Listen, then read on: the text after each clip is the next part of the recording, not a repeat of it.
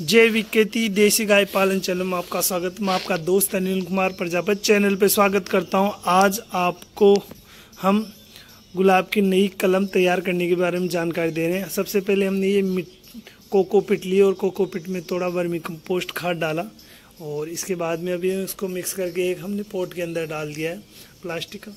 और आप देख सकते हैं, ये हमने गुलाब की टहनी ली है। तो अभी इस, इसको हमने प्रूनिंग करके अलग कर लिया है। तो इस प्रकार से हमने इसको समतल कर दिया है, बिल्कुल।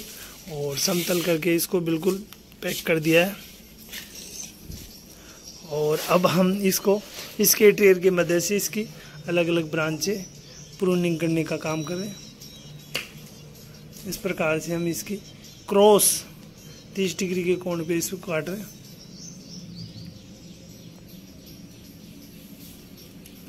इस प्रकार से काट रहे हैं। इस प्रकार से हम, इस प्रकार से हम ये करीब छः इंची से एक फुट के बीच में इस प्रकार से हम इसकी ब्रांचें तैयार करें और नीचे से इस प्रकार से हम इसके मदद से इसको काटा हमने। और ये दूसरी हमने ब्रांच तैयार कर ली इस प्रकार से। इस प्रकार से सात आठ ब्रांचें हम तैयार करें और ये सब स्केटरी के मदद से तैयार करें। ये जो ब्रांचें हैं, वो आप देख सकते हैं। उंगली से छोटी साइज़ की है। तो आप देख सकते हैं, इस प्रकार से इसको काट रहे हैं। आप मान सकते हैं पेंसिल जितनी साइज़ की होती है, उसी साइज़ की हमने देखी। जिस प्रकार से पेन या पेंसिल साइज़ की होती है, उस प्रकार से हम इसको तैयार करके काट रहे हैं। इसके ऊपर आप तीन चीज़ लगा सकते हो। या तो ताज़ा गोबर लगा सकते हो, और इसके अलावा आप नीला थोता लगा सकते हो, या फिर हल्दी भी लगा सकते हो। लिक्विड जो हल्दी होती है, उस हल्दी को पानी में भिगो कर वो लगा सकते हो। तो इस प्रकार से इसके जो ऊपर के हिस्सा है, उसमें हम ये लगा रहे हैं, ताकि ऊपर से इसकी फंगस ना लगे। तो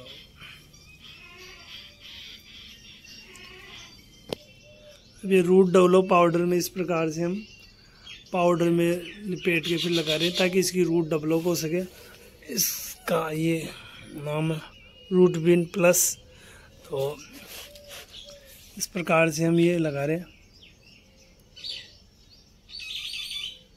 तो इस प्रकार से हमने करीब आठ नौ जो कलम लगाई वो लगा दिए और अब इसको हम ऐसी जगह रखेंगे जहाँ पर आधी धूप, आधी छाँव हो और इसमें पानी देंगे चार से पाँच दिन में एक बार। और भी पच्चीस से तीस दिन बाद में ये प्रत्येक में कलम डेवलप हो जाएगी हमारे और इसमें फिर हम जैसे ही नीचे जड़े आएँगे, इसको दूसरी जगह ट्रांसफ़र कर देंगे।